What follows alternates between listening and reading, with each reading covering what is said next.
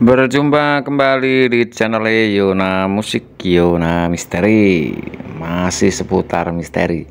Ini di Wonogiri ya. Alas Ketu. Nah, Ini kan ada rumah. Rumah yang enggak, sudah nggak kepake. Kalau anda penasaran dengan video ini Ada di channel Yona Musik Rumah terbelengkelai di Alas Ketu. Ini mirip banget dengan kandang bubrah.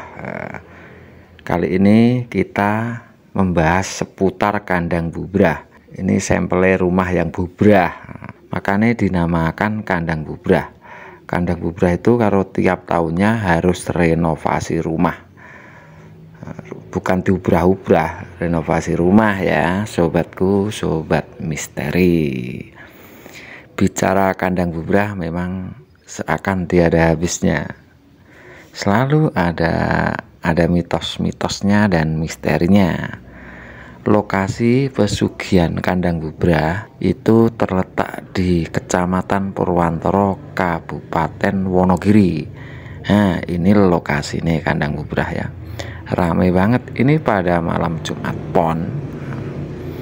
Kalau dari Pasar Purwantoro itu sebelah utara ya, kisaran satu kilo kalau dari terminal Purwantoro itu ke arah barat baru ke utara ya kisaran itu mungkin satu setengah kilo bosku ya nggak begitu jauh. Dan ini warung sebelah timur makam kandang bubrah makam tebung boyo. Itu yang ke situ di warung pocong namanya warung pocong itu bosku. Itu nggak semua orang yang ke situ cari pesugihan banyak orang itu yang ngopi terus nongkrong. Di situ banyak banget. Jadi jenengan semua para sobat misteri jangan salah persepsi ya. Di warung pocong itu nggak cuma orang yang cari pesugihan yang ke situ. Tapi banyak juga yang cuma ngopi nongkrong. Itu banyak banget bosku. Kembali ke pembahasan seputar kandang bubrah. Di sini Yona Musik mau menanggapi salah satu komentar dari salah satu subscribe namanya Bunga. Inti dari komentar tersebut adalah ampuh mana bang antara gedung Kiono dan kandang bubrah. Ini kita coba cek komentarnya bosku. Ini Mbak Bunga Ardian berkomentar, Bang Yona kan Wonogiri yang viral pesugihan kandang bubrah dan gedung Kiono Terus Bang Yona, ampuh mana antara kandang Bubra sama gedung Kiono? Terima kasih, sukses selalu. Terima kasih balik Mbak Ardian, Mbak Bunga Ardian ya. Ini menurut versi ini Yona Musik ya, itu tergantung nanti jenengan nilai gimana, ampuh mana itu hak jenengan bosku.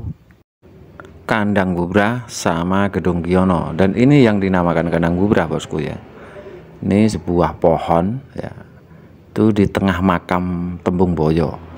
Konon kabarnya di sini merupakan petilasan Pangeran Purboyo. Jadi Pangeran Purboyo itu dulu doanya mungkin di sini bosku. Jadi anak cucunya mungkin kayak kita kan bisa dikatakan anak cucunya ikut berdoa di situ ngalap berkah di situ. Dan anehnya lagi di sini terkenal dengan kandang bubrah karena orang yang melakukan ngalap berkah ataupun pesugihan di sini itu diharuskan renovasi rumah tiap tahunnya. Itu bosku. Itu sedikit cerita seputar kandang bubrah. Terus ampuh mana sama gedung Kiono biar semua nggak penasaran kita lihat dulu gedung Kiono yang dinamakan gedung Kiono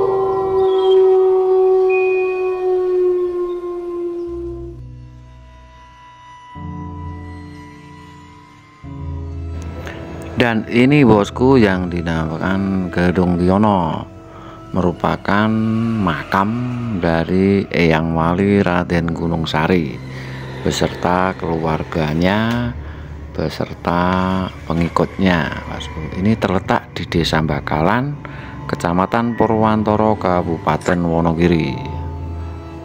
Lokasinya sangat serem banget bosku. Jadi kalau jenengan ke sini malam sendirian mungkin ya nggak berani bosku ya. Ini terletak di desa Bakalan. Ini kuncen gedung Giono ya. Dia sedang masuk ya. Ya mungkin sedang jawab nih salah satu tamu yang pengen ngalap berkah ke gedung Giono ya. Ini prosesi ya prosesi ngalap berkahnya ya. Pakai kembang pakai menyan banyak sekali yang datang ke sini. Orang yang datang ke sini itu rata-rata orang yang kesusahan ya.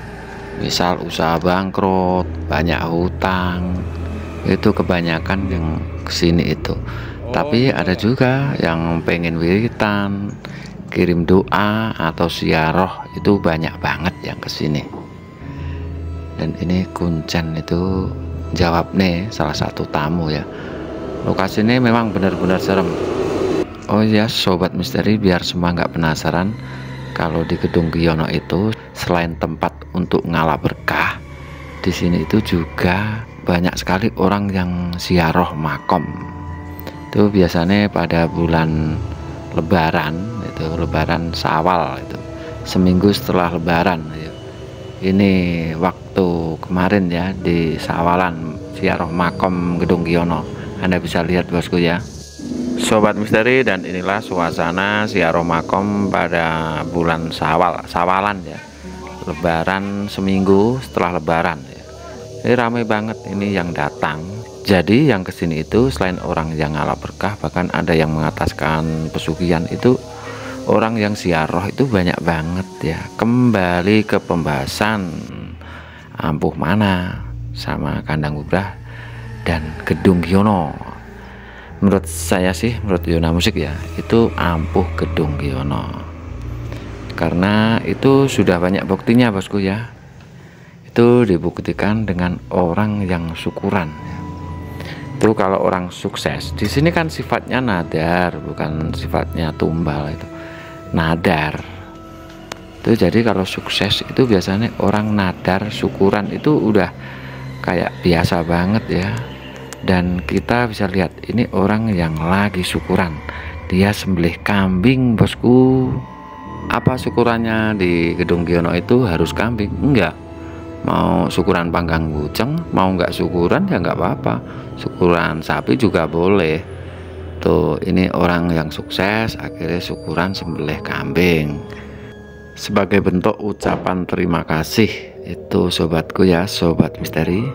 Itu banyak sekali yang sukses. Bahkan mungkin tiap bulan itu banyak. Tiap bulan itu ada orang yang syukuran ya. Sembelih kambing itu hampir tiap bulan ada. Kalau di kandang bubra itu sih jarang sekali ya saya melihatnya. Yaitu semenjak almarhum Mbah Sisum sudah meninggal namanya almarhum sudah meninggal itu memang aura atau keampuannya itu sudah menurun drastis bisa dikatakan hambar bosku ya.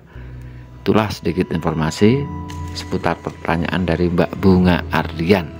Ampuh mana antara gedung Giono dan kandang bubrah menurut versi ini Bang Yuna. Dan kembali menurut saya sih ampuh gedung Giono dan itu tinggal jenengan itu yakin yang mana? Itu hak masing-masing bosku terima kasih semoga video ini bermanfaat. Salam budaya kearifan lokal dari Yona Musik Yona Misteri ucapkan Assalamualaikum warahmatullahi wabarakatuh